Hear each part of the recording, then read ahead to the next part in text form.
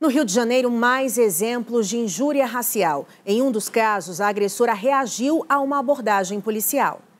O vídeo mostra Joelma Lopes, de 52 anos, resistindo à prisão. Eu não vou sair Leva, vai sim. Leva sim, moça, leva. Segundo testemunhas, ela usou termos racistas contra uma recepcionista da prefeitura de Macaé, cidade que fica a 200 quilômetros do Rio de Janeiro. A polícia teve trabalho para levá-la à delegacia. Vai sim, racista. Isso aí, muito bem, muito bem.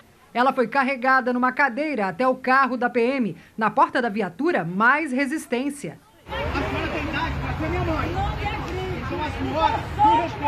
Mesmo algemada, Joelma agrediu um policial e finalmente foi colocada dentro do carro. Enfia ela, isso, muito bem, moço.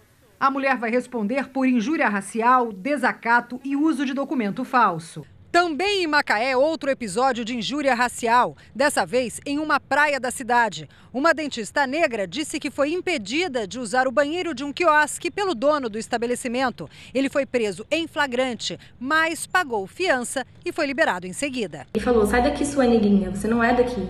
Se você quer dinheiro, você vai pedir em outro lugar. Eu não tenho que pagar banheiro para você. Volta para onde você veio. A prefeitura de Macaé interditou o quiosque. Vamos estar lacrando esse espaço que não atende o interesse público municipal, promovendo injúrias, racismos. A gente não vai refrescar para ninguém, racismo não.